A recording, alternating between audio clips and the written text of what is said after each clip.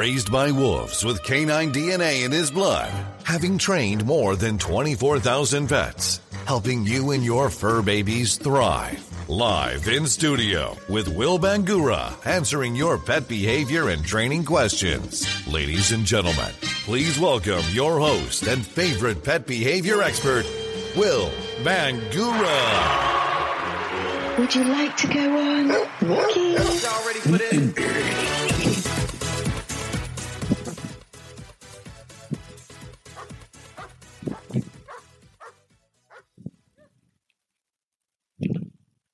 Good Saturday morning, dog lovers. I'm Will Bangura, And I'm Jordan Marsteller. and you're watching another episode of Dog Training Today here on Facebook Live. Um, just a little bit about myself if you're brand new. I am a clinical animal behaviorist as well as a certified uh, canine behavior consultant, a certified professional dog trainer. I'm also fear free certified. And on dog training today, we talk about everything dog training, everything dog behavior. And this is an opportunity. If you have a question about your dog's training, if you've got a question about your dog's behavior, we're here to help you and to give you some expert answers, expert solutions to what you can do, what you can try to have a better relationship and a better behaved dog. Um, and so if you've got a question about your dog's training or behavior, do us a favor, go ahead and just type that question down into the comments there. And Jordan will be taking a look at those questions. And if you do have questions, we will be doing our best to answer those for you. Um, hey, how was everybody's 4th of July? Did everybody have a good 4th? Hopefully it was safe. Um, how did, how did your pets do with the fireworks? yeah. Yeah. you know? And you know what I'm you know what my question is, Will, about What- the Fourth of July? What's How that? many digits were lost this Oh, Fourth of no. July? Oh, yeah, You know? yeah. It, al- it always happens. Somebody blows their hand off. Absolutely. Absolutely. And you know what? My my thoughts and prayers go out to those of you that are less than ten uh this morning.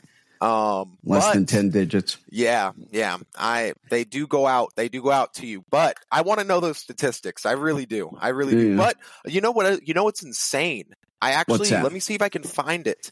The uh, Arizona Humane Society already released this year's numbers about an increase um for uh, the 4th of July intakes.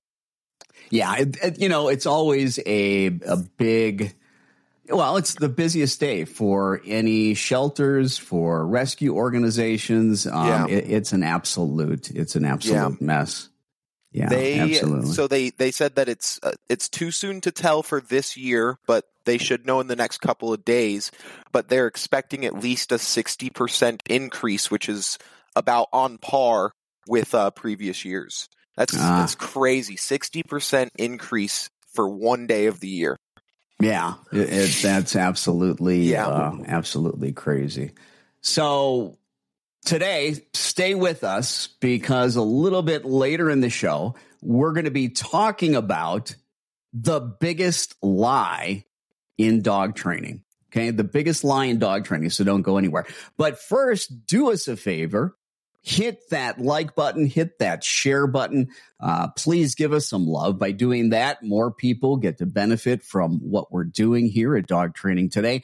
Um, if you're watching this on YouTube, do us a favor, hit the like button as well. And please make sure that you subscribe and click on that uh, little bell. Is it the bell on YouTube? Yeah, uh, Yeah. no, yeah, yeah. On YouTube, it's a yeah, little on YouTube, bell. it's a little also- bell, and Yeah, that we- that lets people know when we go ahead and post um, a new video. And if you are listening to the Dog Training Today podcast, maybe you listen on Apple Podcasts, maybe you listen on Spotify. Do us a favor, just just hit pause, hit pause, and give us a five star review. If you love what we do, please give us a five Yeah, star review. do. That helps our rankings um, It helps go us. up. Go Listen, up. guys, if to be frank, if you have gotten anything out of watching our videos or listening to our podcast, and you believe that somebody else needs to hear this information, like and share the page. It is the only way that we get out there. It's the only way that more people get this free training. We love to do this. We really, really do. And we're doing it because we want to help people. And we can only help people if you help us do that. So please take some time to do that for us. You know, you know what's insane though, Will, talking about 4th of July? Yeah, what's that? Um, so I spent I spent Fourth of July. Uh, me and my fiance went over to Will's house for Yeah, uh, the Fourth of yeah. July. It was a it was a fantastic time. We had some burgers and Good steaks eats. and Good eats. and you know just great food. And Hana Hana made those brownies that were to die for. Um, but what was crazy, what was crazy was when the first fireworks went off. So we're just sitting there. We're just we're just sitting at the table. I think that maybe we had just finished eating uh our um our steaks. Yeah, we had just finished eating our steaks and the fireworks started going off. And both of your dogs, Boo and Papa Sully, they just came running just out of nowhere. Ran right up to Will, guys. It was it was insane. I wasn't even I wasn't even registering what was happening, but I, I noticed it. And Will goes, he goes, "What are you guys? Why are you guys coming up to me?" yeah, I and then it clicked. And then it clicked that it's because he's been doing the conditioning that we've been teaching you guys. Let me tell you, it 100% in action. I witnessed it. Obviously, I've seen other dogs do this before, but I'm telling you guys, it works. Every single time that those fireworks went off, instead of these dogs who in the past would be scared and they would get startled and maybe they'd go hide or they'd tremble uncontrollably. Instead, they heard the boom from the fireworks and they were like, oh, let me get to dad or let me get to mom or let me get to this person. Let me find someone that's going to give treat. me treats. Yeah, and, and so you know I, the funny thing was I forgot they came Yeah. running up to me and like, "What are you guys doing?" You know, um, forgot that the previous two years, every time there was a sound of fireworks, I would mark and reward my dogs. Absolutely. And so now they've got a secondary reward marker, yeah. and that's the sound of fireworks because that means good things are going to happen. And just like you said, Jordan, um, my dogs really had it pretty severe. I mean, Yeah. trembling, hiding, running, trying to get away.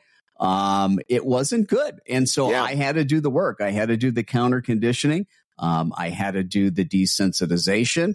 And yeah, it was funny because they came running up to me and, and I'm like, well, what are you guys jumping on me for? What, what is it that you need? What is it that you want? And it was Hana. My yeah, wife it was that- Hana. It she was Hana. remembered. She goes, Yeah. "You, you, you got to give him a, a reward," and I forgot. I'm like, "Oh yeah, that's right. We did counter conditioning and desensitization. That's so it does. It, it works. Anybody that says it doesn't work, it works. Um. So here's the deal: if you have a dog that struggles with fireworks, chances are the next time it's going to happen is New Year's. Absolutely. Um, you've got a lot of time right now between now and New Year's to be able to do behavior modification, to do counter conditioning, desensitization to fireworks. Yeah. Okay. Um, between now and then. So Let me Two tell things. you guys. Six months. Six months until New Year's. And six months is the average time that we would spend with our clients fixing very severe problems. Yeah, it would have to be if- very severe for yeah. six months. Because If- here's the thing with my dogs and the um um well, here's exactly the process I went through for two years was a medicate my dogs because Yeah. they're scared. They don't need to suffer. Okay. So that took the edge off. That allowed me during the fireworks to be able to do the work. You know, if your dog is so scared that they're constantly running away, trembling, hiding, you can't do the work. First of all, they're over threshold. They're over threshold. But what I want everybody to do, if you've got a dog that's afraid of fireworks, okay, you've got six months to get ready for New Year's. You got a year to get ready for the next 4th of July. Yeah. Go to my website at dog behaviorist. There it is. Dogbehaviorist.com. Other side? Yep, there we go. Really? Because on my Yep. screen, on my screen, it's over there. yeah. Okay, nope. I'm going to have to use that mirror, mirroring feature. yeah. But go to dogbehaviorist.com. Apparently, it's over there. Yep. and and go to the menu click on articles there's about 94 articles up there find the one on fourth of july fireworks but Yeah. Also scroll down get the big guide on counter conditioning and desensitization start working on that now i guarantee if you follow those guidelines it's going to be a game changer Yeah. an absolute game changer for you. Yeah. Yeah, absolutely. Um, one hundred percent. So, one of the things that I wanted to do today, as I mentioned, and as um, I wrote in kind of the description for Yeah. today's podcast, I wanted to talk about the biggest lie in dog training. Okay. Ah. and And, that, the the biggest lie is that anybody's better than us, right? Hey, there, there's. I, I'm gonna look at. There's plenty of trainers that There are better than there I are. There I, absolutely I, I are. There guarantee absolutely are. Um, there are, but here, here, here's. You want to talk about a lie? Here you go. Listen to this. There is a radical lie going around the internet on dog hmm. training. I am saying the use of aversives, the use of corrections, the use of information in training a dog is necessary. Anyone who tells you anything else hmm. is lying to you. Science has no place in dog training. Whoa! What was that? Science has no place in dog training. What? Yeah. Science has made me the dog trainer and behavior specialist that I am today. So, without without science, I don't know where I'd be today. so what? Um, teaching. There's nothing behind teaching and educating and how animals think, they learn, they process Right. information as far as science. But here's the lie, and that's from Robert Cabral. And Robert was doing a workshop at Yeah. a shelter. Okay. And he's talking about you have to use corrections. Let's just listen to a little bit of this and then we'll talk about it. Okay. All right. All right. So in in understanding the makeup of the dog, which is the real the predator, the wolf, we have to look at why dogs do certain things and why they don't. So if we look at the aspect of positive training or a reward-based system, as I said, as long as the dog's desire for the object, the positive object, the reward object, is greater than its natural predatory instinct to chase, kill, and eat, the dog will, will opt for your reward. So if you put the dog on a sit and you tell the dog, come, and you have a treat, the dog's desire for that treat will outweigh his natural instinct to be lazy and not come. So he'll come and he'll get the treat. Now, if you tell the dog to stay, and when he stays, he gets the treat, he'll stay because he wants that treat. But if a chicken or a rabbit runs by and that triggers his natural predatory instinct to sight, scent, hunt, kill, and eat that rabbit, that will outweigh his desire to get the little treat from your hand. And that's where oftentimes positive training will fall apart. All right. I, I'm just going to go ahead and uh, pause that right there. Yeah. Okay.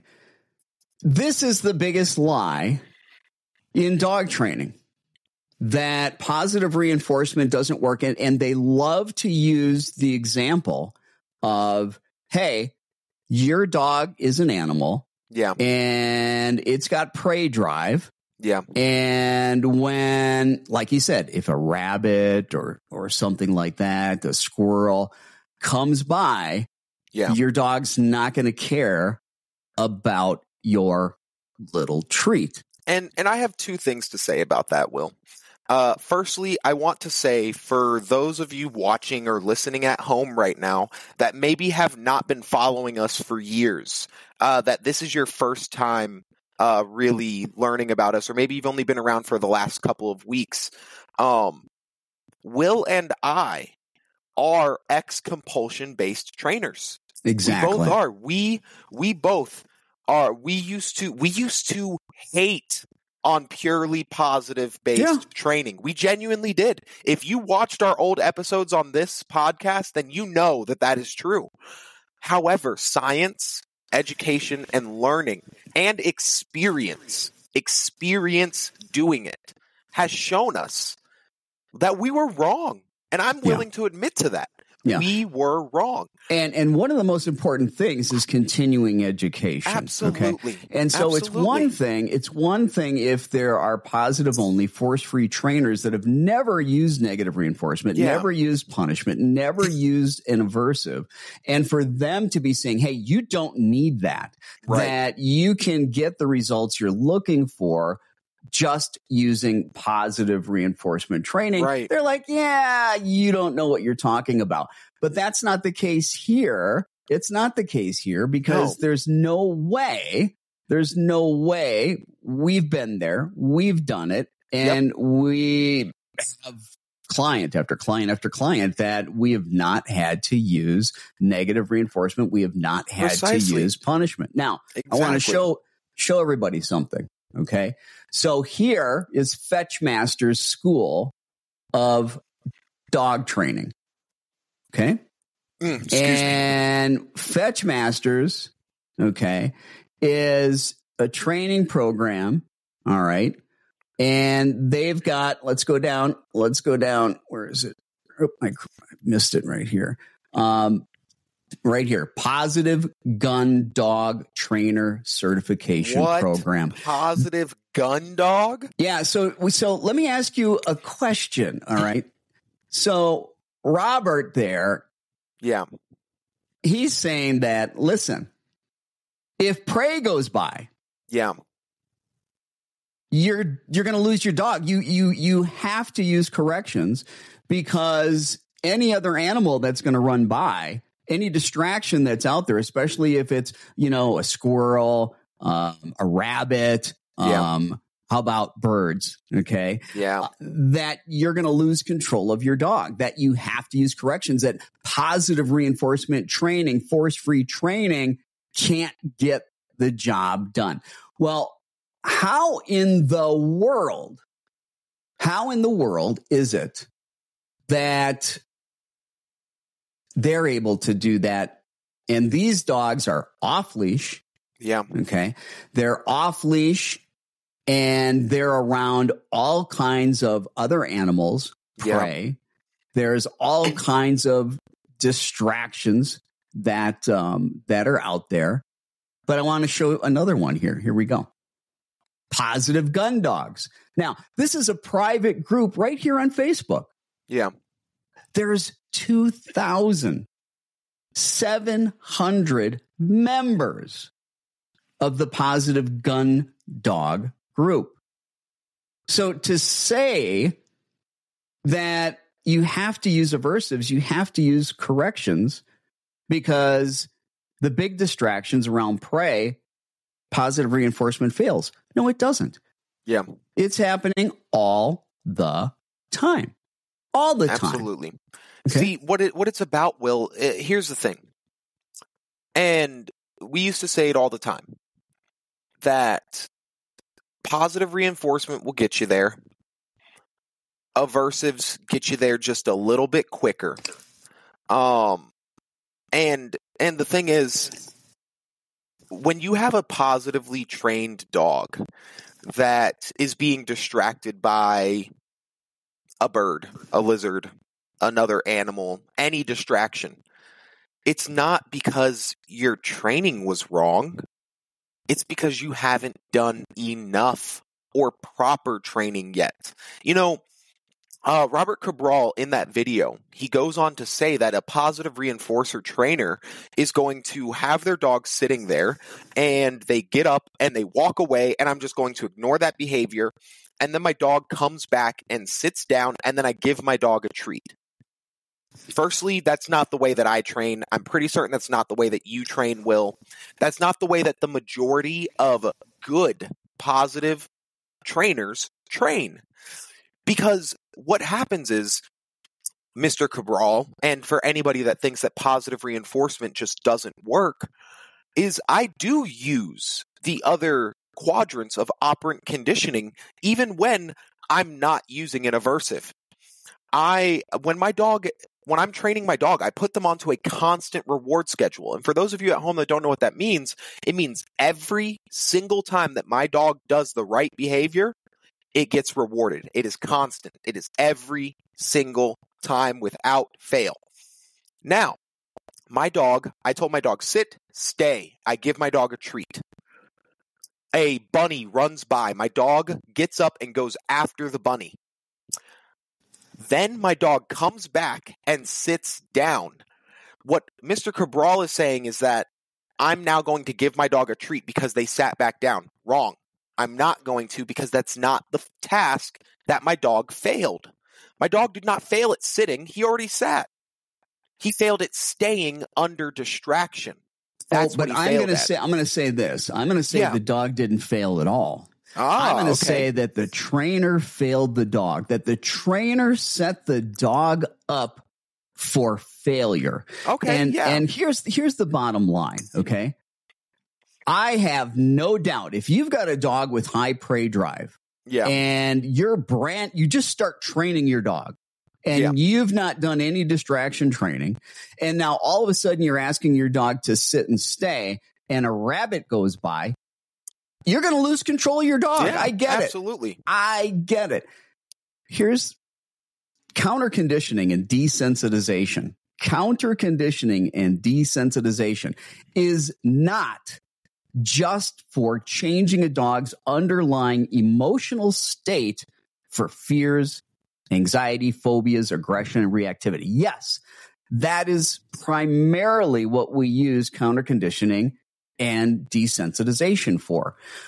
But when it comes to distractions, when it comes to things like if you've got a dog that wants to chase later on in the video, I'm not going to play it, but Robert will talk about dogs that you'll be walking and here comes a kid on a bike, here comes a kid on a scooter, and the dog wants to chase after them. Well, that's prey drive too. Yeah, But the bottom line is if I'm new to training my dog, I don't, and I want my dog to sit and stay and focus on me when a rabbit goes by or when a kid goes by on a bike or a scooter. I don't start the process by putting my dog in that situation where, hey, that scooter or that bike is you know, five feet from us. It's just zipping right next to Yeah. us, or we're right next to a rabbit or a squirrel or something Right. like that. All right. so then how do you do it? First of all, just like we talk about with using counter conditioning and desensitization for anxiety, fears, phobias, aggression, reactivity, you have to start at a distance where you have control of your dog. You start at a distance and you're proactively creating training situations. So what I'm going to do is I'm going to have my dog and I'm going to be going through whatever exercises, training exercises I want to do. I'm going to have a kid on a bike. They're going to be at a distance from my dog where my dog can see the bike, but my dog is not losing its focus. It is still responding to the cues and commands I'm giving. Um, my dog can stay focused with me. It's not wanting to chase after the bike. And I've got this kid going back and forth on the bike at a distance slowly. And then eventually I start speeding up that bike, making it faster and faster.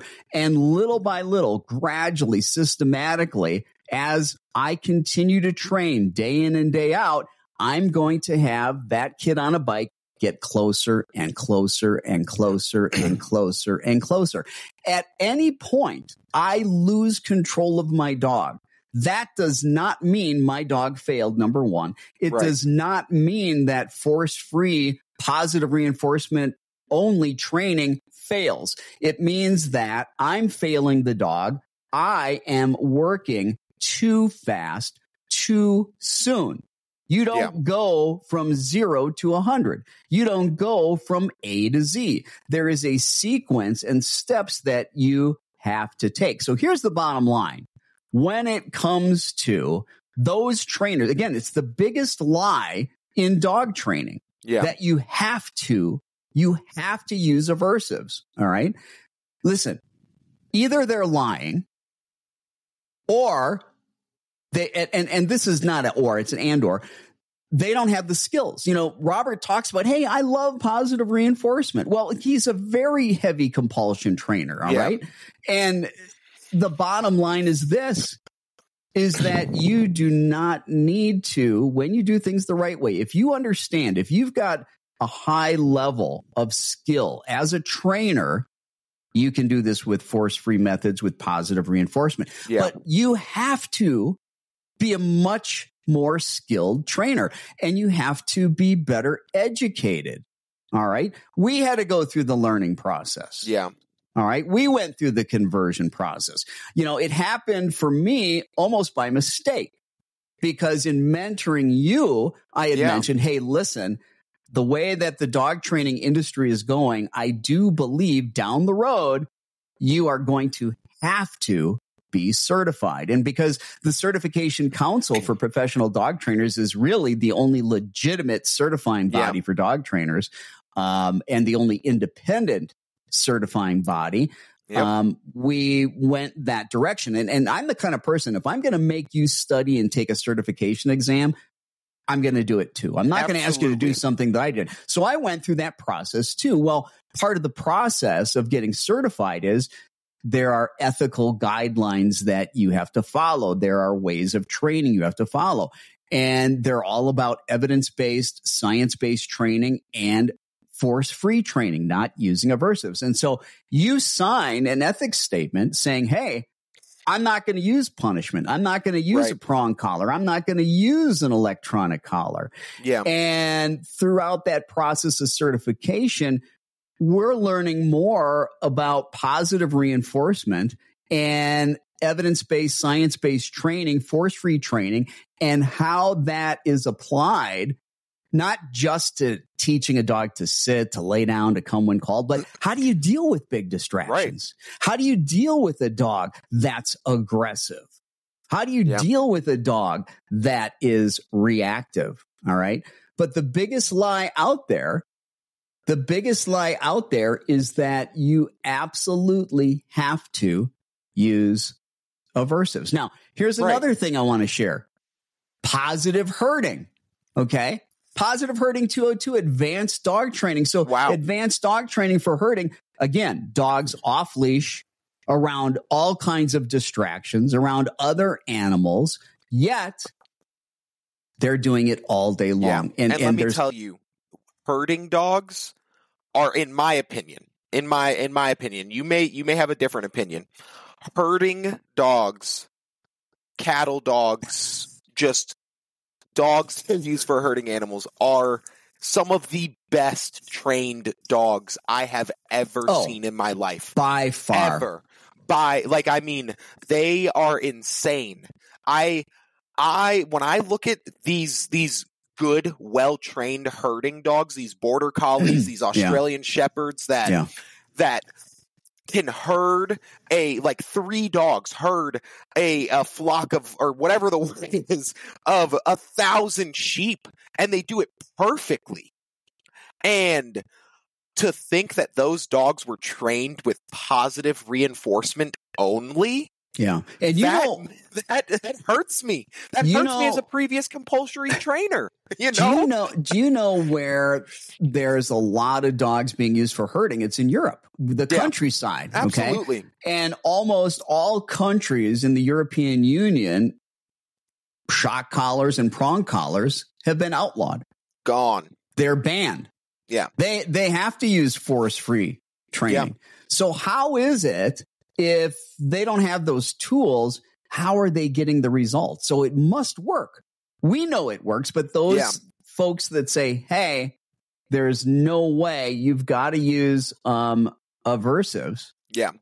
Um no you don't. Now, no let's go ahead and continue to share. And here we go. Let's get another one because it's time to put this to rest. All right. Canine Schutzhund training, a manual for IPO training through Wait, positive Schutzhund? reinforcement. Absolutely. what i Training- would never imagine a Schutzhund dog to be positively Yeah. They call it, they call it IPO now, but, but here's the thing. Everybody says, Oh no, protection sports, man. You've got to use You got to use corrections. You got to use aversives. You know, there are trainers that are titling dogs Yeah. in IPO, Mondo Ring, French Ring, using nothing but positive reinforcement. So again, the biggest lie in dog training saying that, hey, you've got to use aversives when you don't have to use aversives. Let's just keep going here um, as I'm going through this. Okay. Let's uh, take this to another step. Here we go. Training police dogs and military dogs using positive methods. These Yeah. police officers, these police officers are proof that reward based training is good for more than just basic obedience and fun tricks. So the Seattle Police Department, Seattle's um, canine unit, they train with positive reinforcement. So again, another example, and we can just continue to go on and on and on. It doesn't end. Let's go to one more. All right. And uh, where is it? Uh, where are you? Here we go. Here's the next one. Work with a skilled positive reinforcement service dog trainer.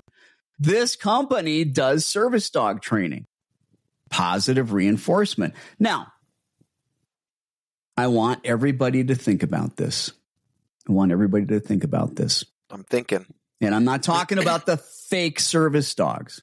I'm talking Yeah. about the real service dogs. Yeah. All that right. grinds my gears. We can talk about that a different day. There are, but here's the thing: most people don't train their own service dogs, Yeah. right? Most people they get a grant, they get money, they do a GoFundMe account, something like that, because Yeah. it costs a lot of money, It does. especially if you have a very complex um, set of tasks that the service Yeah. dog needs to do, like um, um, for people that are blind. I mean, that's a Yeah. really tough. Um, there's a lot of training that goes in there. yeah. I don't know of any schools throughout this country, and even in the United States, that train service dogs that use aversives. Yeah. All of them train with positive reinforcement. How is it that service dogs can go everywhere? And I'm again, I'm talking about real service dogs because Yeah. there's a lot of fake ones out there. Yeah. And you know the fake ones because they're not well behaved. Yeah. No real service dog goes into public and they're not well and behaved. jumping on on a on some random person, pulling Yeah. to to play with another dog. No, That- no yeah, service dog is that, doing that's that. a fake service No. dog. Yeah. All right. People just they don't want to pay and they want to take their dog in the restaurant. They don't want to pay to have their dog Mm-hmm. they want to be able to fly with their dog. Yeah. Yeah. I love when I fly with Harley, and after the flight, the flight attendants come up to me and they go, "You have the most behaved service dog we have ever seen." And every time, without fail, I look at them and I say, "That's because she's a real service dog." Yeah. but, you know, bottom line, herding dogs, Yeah, police canine dogs, dogs that are doing protection sports, okay, service dog, gun dogs, hunting Yeah. dogs, okay. All of those, all of those dogs being trained to a high level of training, off leash reliable with insane Yeah. distractions around them. They don't have to use a shock collar. They don't have to use a prong collar. They're Yeah. getting the results. So anybody that says, you know, what Robert says, let's see, what does he say? I am saying the use of aversives, the use of corrections, the use of information in training a dog is necessary. Anyone who tells you anything else is lying to you. That's the lie. What he's Yeah. saying is the lie. That is the biggest lie in dog training. absolutely. Now, I want you also to understand that there are trainers, people, lay people that love to compete with their dogs in dog shows. And I'm not talking about the beauty pageant, okay, where they're just prancing around the ring and best in show. I'm talking about working dog trials. I'm talking about AKC obedience Yeah. matches, whether it be in obedience, whether um, we're talking utility, okay, whether we're talking scent work. All right.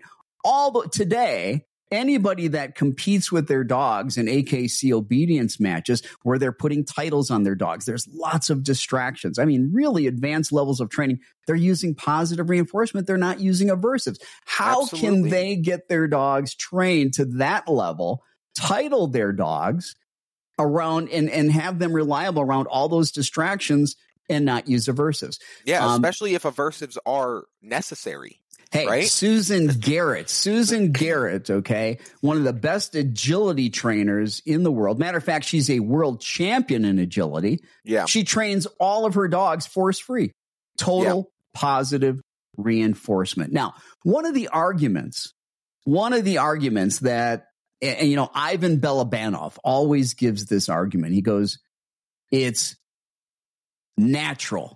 Corrections are natural, that it's part of our biology that we're pre programmed to want to move away from things that are painful Yeah. and move towards things that are pleasurable. And he uses the example, hey, you, you touch a hot stove, poop, you, you quickly recoil from that. And hopefully you probably will learn from that. It hurt. You probably won't do that mm-hmm. again. And so he uses that example as, you know, the fact that it's part of our biology.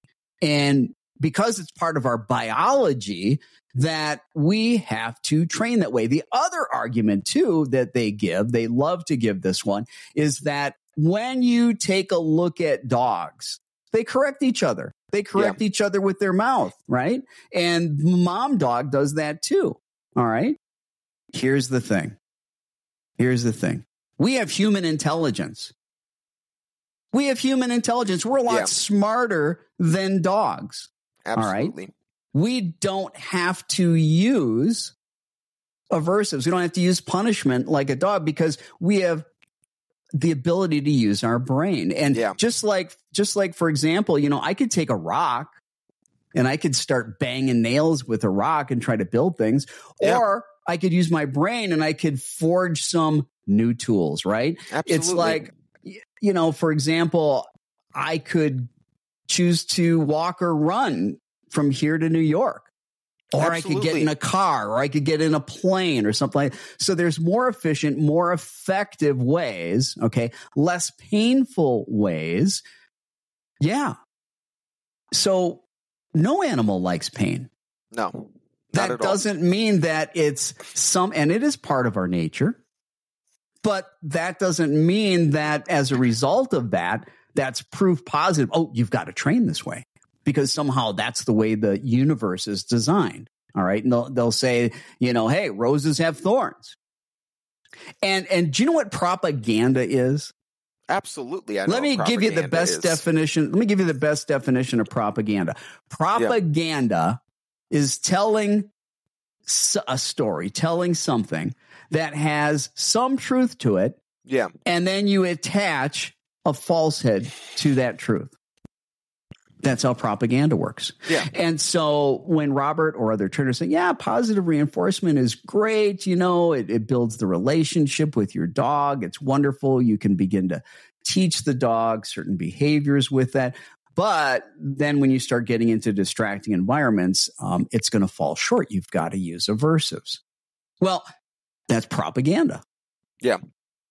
There's a part of it that's true. And then there's the rest of it that's a lie when it comes to this particular issue. And so this is the biggest lie in dog training. Yeah. Okay. Absolutely. Um, I've got some email questions that we can Yeah. go through. If- Yeah, if- absolutely. You know, I Let's think we've kind of exhausted that, but before we do that, we need to take a second to hear from our sponsor. Please support our sponsors. Check out Calm Dogs. Oops, almost. Let's try that again. Where am I? Well, maybe we won't. Dog's veterinary Slight- formula is a maximum strength calming aid with natural ingredients made up of a proprietary blend of 21 herbs, vitamins, minerals, and amino acids that are clinically proven to reduce anxiety. Calm Dogs is five times more effective and has up to 80% more active calming ingredients than other leading brands, making Calm Dogs the strongest and most effective calming aid for dogs anywhere on the planet.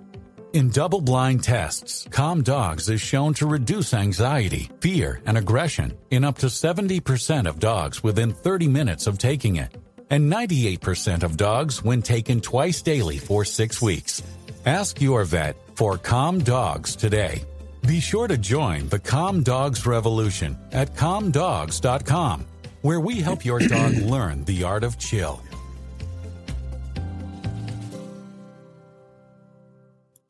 All right, check Art out chill. check out Calm Dogs. You can uh, get Calm Dogs at doganxiety.com. It comes with a 60 day money back guarantee. Bottom line, Calm Dogs works for your dog or it's free. And it's not just about dog anxiety. Again, it's for dogs that have aggression, reactivity, fears, phobias, all of that. Um, let me go to some email questions here. Yeah. Um, this one is from Tina, and Tina is in Florence, Kentucky. And ah. Tina says, How do I get my dog to stop jumping? It is so embarrassing whenever I have guests over. My dog is crazy, hyper, jumps all over them. And I'm very worried because if I have my grandmother over, she's 92 years old, and I'm really Yeah. afraid that she's going to get hurt. Absolutely. You wanna take that, Yeah, Jordan? I'll take that one. Jumping behavior is one of my favorite things to fix. And the reason why, Will, is because it's easy. It's easy. All right, Tina. You So, just have to punish the dog, right? That's right. All you're going to do is you're just going to take that lead. No. Uh, but But that's old doing- school, Yeah, right? How many times? Listen, compulsion based trainers, they always say, hey, if your dog's jumping, knee him in the chest. Exactly. Exactly. Okay. That is that and that's what I was taught. That for Yeah. for the longest time. For the longest time, that's what I did. And when people asked me, my dog is jumping, how do I fix this? I would say, knee him in the chest. Just take that knee and don't make it light either. You want to knee them in the chest. Make it make it uncomfortable. That's not how we do it though, folks. Explain how it's done using So- force free methods, positive reinforcement only. So the first thing that we're going to do is we need to teach our dog an incompatible behavior without any distractions first. That's going to be the step one. Now, it, in a perfect world, the way that I like to do it is I teach my dog place. Okay. What place is, is it is a designated spot, normally an elevated cot, something like that, where I'm teaching my dog to get on this spot and stay there. And I'm going to teach my dog to do that under distraction, with light distraction, heavy distraction, and no distractions. Once I have a dog that is, you know, doing really good with place, there's something else I'm going to be doing concurrently at the same time. And that is what I like to call my 10 minute rule. Okay. The 10 minute rule is very, very simple. When you come home, when your children come home, when your husband or wife comes home, when your neighbors come in the door, when your friends come over, whenever somebody walks through that front door for 10 minutes straight, you ignore your dog. You pretend that they do not exist. You're not greeting them. You're not petting them. You're not giving them a treat. The only exception to this policy is I've been gone for five hours. I need to take my dog outside to go to the bathroom. That's the only exception because I don't have a doggy door. But other than that, you completely ignore them for 10 minutes. Nothing at all. And I do mean no interaction.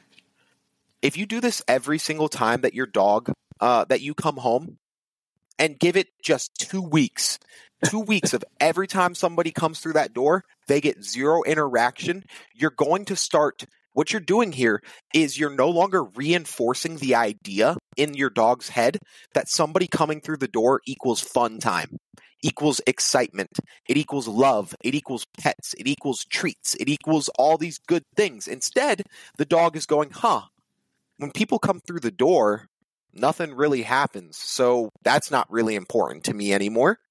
There's really no reason for that. Now, I've got my dog on place. I've taught my dog the 10 minute rule, and now I'm ready to start introducing the door itself. The first thing I got to do is I got to figure out what is triggering my dog. Is it, does my dog trigger when the person knocks? Does my dog trigger when they ring the doorbell? Is my dog triggering? They don't care when the knocking happens. They start triggering when the door opens. Exactly. Maybe, yeah, you maybe, need to know maybe that. they don't even care about that. Maybe what they care about is the moment the person makes it in the door. But you got to figure that out. right. Once we know where my dog is starting to trigger, that's where I have to start desensitizing. So let's just say that I have a dog that triggers as soon as the knock occurs. That's where I'm going to start. Put my dog on place. And then I'm going to start knock, knock, knock, knock, knock very lightly, very light knocking. And I'm going to feed my dog simultaneously. High value treats. Feed, feed, feed, feed, feed, feed, feed. And I'm only going to do this a little bit because we aren't talking about a dog that is fearful. We're not Yeah. talking about a dog that is aggressive. I'm just creating an association so Yep. that my dog hears the knock and goes, Ooh, I'm going to get some food. That's what I want. Now- and the, and the dog is staying on place. Exactly, So it's and getting staying on place. reinforced for that additionally. Exactly. Yeah. Precisely. Now, once I've got this association of I'm on place, someone knocks on the door, I'm getting food in my mouth. Now I'm going to start teaching my dog the desired task. Okay? And that is we're going to stay on place as long as somebody's coming through the front door. So now I have somebody knock, Maybe they jiggle the door a little bit. Maybe they open the door a little bit. My dog stays on place. I mark and reward. Okay. Then let's say the dog gets off of place. What am I going to do? I'm not going to correct my dog. I'm just going to have that person immediately stop knocking, immediately close the door, immediately step back outside, whatever it is, and then I'm going to reset my dog. Mind you, they do not get a treat for getting back on place because they got off. They got off. They broke place.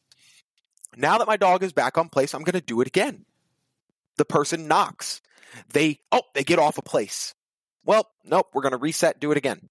Person knocks. They get off a place. Okay, you know what? This isn't working. My dog has failed three times now. I'm going to turn down my distraction. So instead of a, I don't know if you can hear this, like a Yep. loud knock, I'm going to do a Yeah. I can Very- barely yeah, hear it. Yeah, Barely like hear that. Very, yeah. very light knock. Very, very light. And hopefully, now that I've turned down the distraction, my dog remains on place. I reward them. And we use this very slow process until I get someone in the door. Now, what people are thinking at home is, well, Jordan, I just want my dog to stop jumping. I don't want my dog to stay on place while this is occurring. Like I, I don't I don't want to worry about teaching my dog place. That's fine. What we have done now is we've taught our dog that someone coming through the front door is not an exciting thing. Focusing on mom and dad, staying on place is a fun and exciting thing. So now we can remove place from the equation. Okay? Now I have somebody come through the front door. My dog already has an understanding of staying on place, being contained, and not running over to jump. So now I've got my dog on leash. I let someone come through the door. And what am I going to do? I got to teach them a conflicting behavior, an incompatible behavior. Sit. Yes. Give my dog a treat. As soon as somebody walks through the door, person walks back out. I release my dog, let him run around. Person comes back through the door. Sit. I reward my dog. I do it again. Sit. I reward my dog. Sit. I reward my dog. Over and over and over and over on leash. The reason why the dog is on leash is so that they never get to actually physically put their paws and jump up on that person. We don't want to allow them to repeat the behavior. We don't want to allow them to continue to reinforce this fun behavior of jumping. Now, I've at a point, come this point, my dog, someone comes through the front door, and there's probably a good chance that your dog is going to run up to you and sit and look for a treat. There's probably a good chance that's going to happen. If that occurs, you better pay your dog, reward them lots of love, fun, explosion, give them all the treats, you know? And you're just slowly turning up this distraction of somebody coming through the door, going away, coming through the door, going away, in addition to that 10 minute rule.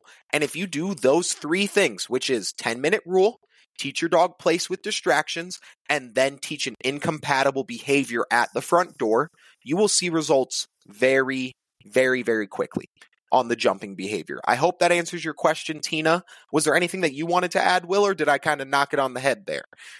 Um, you know, you you did good there. Um, the only thing that you know, some of my clients, what I will um, have them do as well is use the door knock or the doorbell Yeah. as a secondary cue for place. Yeah, perfect. Which is which and and uh I can actually explain that if you'd like, Will. So Yeah, it's super simple. It's really simple. What I do is I'll have my dog on leash. This is super important, folks.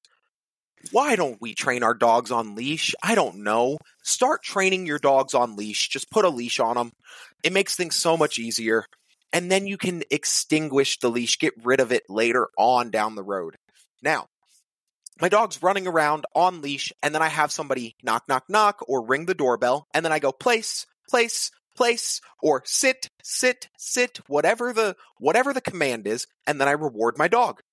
And then I release him, knock, knock, knock, sit or place, reward. Knock, knock, knock, sit or place and reward. And I do this over and over and over and over again. And then what's going to happen is it's going to go knock, knock, knock, and my dog is going to boop, sit.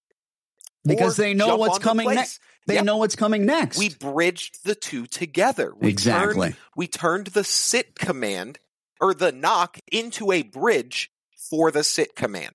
And what that means is a bridge is just connecting two separate behaviors. We're That's all it associating it. It's associative learning. It's classical conditioning. It- it's Pavlovian. Exactly. It is Pavlovian. That is exactly what it is. Um and you know, I actually I got a I got a question. Um the other day I had someone and maybe this is a, a topic for for another another week actually and I think it would be a good idea because it's already we only have about 10 minutes left.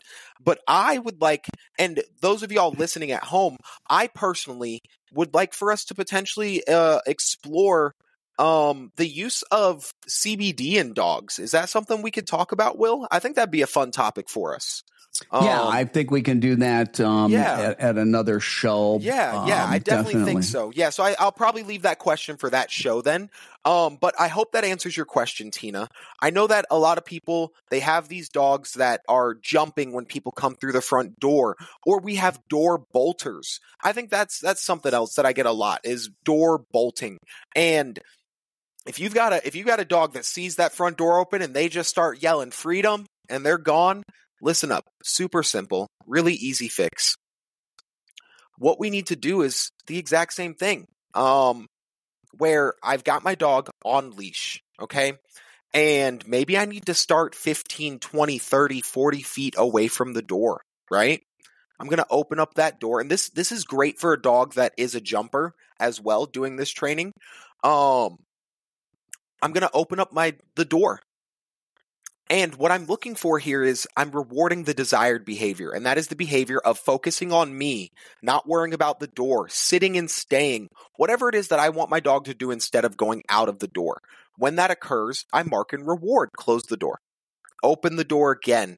If my dog could care less about the door, they're focused on me, they're doing my tasks, I'm going to mark and reward. I move a little bit closer to the door, and I'm going to do this over and over and over again till I'm right there at the door. Mind you, my dog is on leash. I'm now going to open the door and I start teaching my dog that I will release them through the door, which for a jumper, this is probably another thing that occurs. You got a guest coming up, they're getting things from their car. I open up my front door, my dog bolts out the front door to go greet the guest. Now, I'm at the front door on leash. I'm going to open the door. I'm going to reward my dog as long as they don't go through the door. I'm just, uh, as soon as the door opens, I'm rewarding my dog. Now, the next thing I'm going to do is if I have a stay command built into my dog, I'm then going to give them that command, that cue, and I'm going to step out the door. And then I'm going to turn around and I'm going to reward my dog again. Then I'm going to ask my dog to come through the door, whether that is with a release command, whether you build in your own command, your own cue that you want to use, whatever. I say break. I say break. My dog comes through the door. I reward her again. And then guess what? I'm going to turn around and I'm going to do the exact same thing to get inside. And then I'm going to turn around and I'm going to do the exact same thing to get outside. At this point, there's no distractions outside. Outside is empty. I'm just teaching my dog you stay inside the, the door frame. It's not really teaching the dog to stay inside. It's actually teaching them don't go through door frames without my permission. That's what it's really teaching them. So now my dog is at the door. I reward. I release my dog through the door. I reward. I or I step through the door. I reward. I release my dog through the door. I reward. And I do this over and over and over and over. Now I'm going to get a helper to be down, way down by the road, maybe even further. And I'm just going to have them stand there and I'm going to do the same thing again. Over and over and over. Inside, outside, inside, outside, inside, outside. Then maybe I'll have that person move a little bit closer and a little bit closer and a little bit closer till they're right on my door.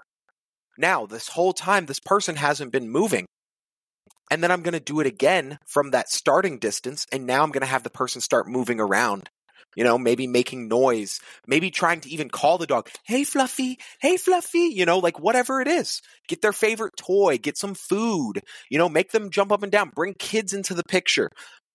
Distractions work with, po- or positive reinforcement works with distraction if you take the time to do it. And and that's simple. key. Okay. That is key. You know, there's a lot of people that are lazy Yeah. and you've got to take the time. And here's the thing I want everybody to think about. Okay. And, and this is not to shame anybody. How much you love your dog? I, I love my dog a lot. And do you believe your dog's a sentient being? I absolutely believe my dog is a sentient being. so being. your dog feels pain, your dog feels pleasure. yes, one hundred Not just not just the physical sensation, but the emotional aspects Yeah. of pain and pleasure. right. Okay? Do you want to? I mean, think about this. Think about this. Let's say that Jordan, the average pet parent who gets a dog and they want to take their dog through training, Yeah, how long are they typical? And they they don't have any major problems. They just have nuisance behavior Yeah. issues and they want just regular obedience, you know, heel, Yeah. sit, come down, go to your place. How long would you say that a person trains? I would say the average that a person is going to train is going to be no more than a couple of weeks. No more than a few weeks is what the average pet parent is doing with their dog. How many weeks? How many weeks? Uh, I'd say maybe four. All right, four so four weeks. And how during those four weeks, how often would you say they're training? Um, are we talking about how often I would do it, or how often I think they how, are how often do you think a, a, a typical pet parent is it? training? Probably once in a a week. week, twice Really? a week. Yeah, I would say so. Absolutely. People are Okay. lazy. Will people are lazy? I was going to say more like about five times a week. Yeah. Okay, but you know, I could be wrong. Now, we know that that's not enough training for things to be fully reliable. Yeah. Absolutely. All right. And so then what happens is they've got a dog that's situationally trained. They got a dog that's partially trained. Yeah. And even though training's never over, folks, but then they get out in the real world with their dog and they're struggling with their dog. Yeah. All right. Because they haven't put in the time. But Yeah. I want you to think about this. All right. Let's split the difference. So let's say that for four weeks, all right, they're doing it four times each week. Okay. So Yeah. they're doing basically what, 16 sessions? Yeah. All right. They're doing 16 sessions. And then after that, we know that they're not reliable. And Right. so then it's day in and day out. So how long would a typical training session be? Um.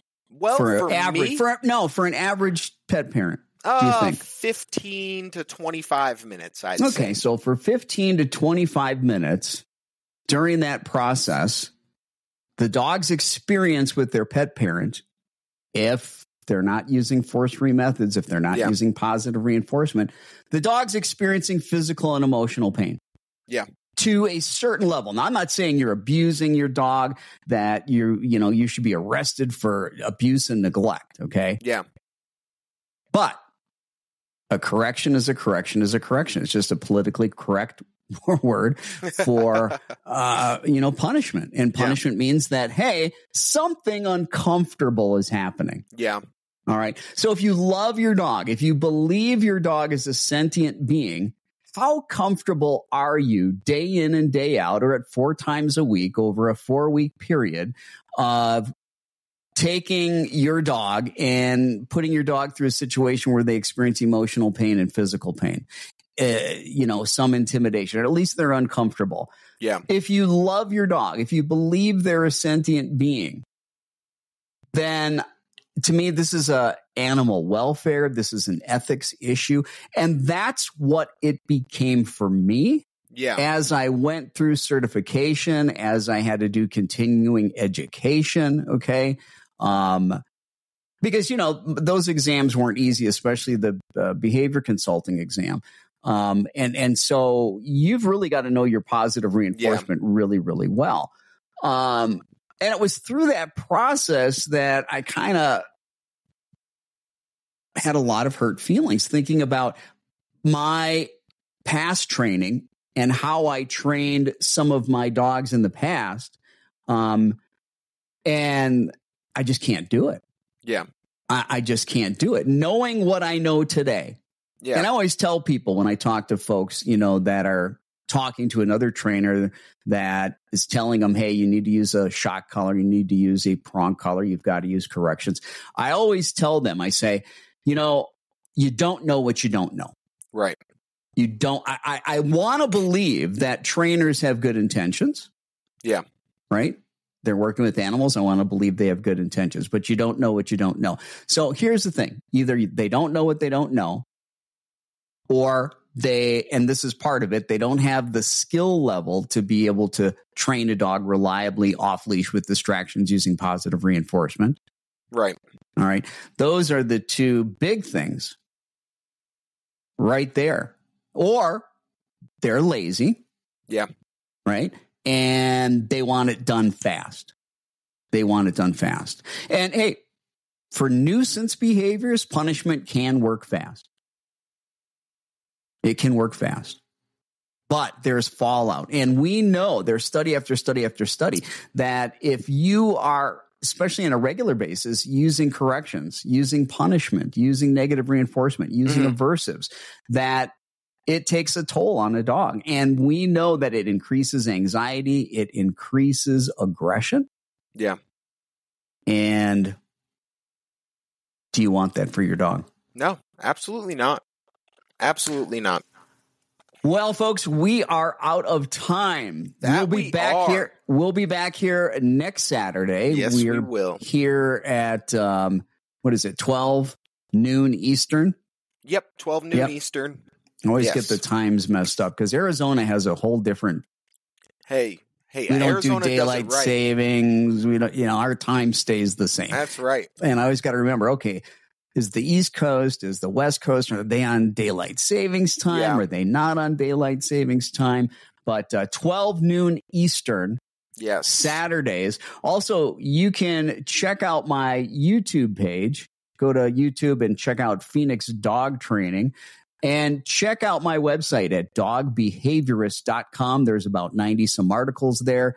Uh, go to the menu, find articles, click on it. If you've got a problem, you're probably going to find an article that's going to help you with positive solutions to resolve those issues. So there you have it. All right, folks, listen, have a fantastic rest of your weekend. We'll see you next week. Yeah, we will. We're out of here.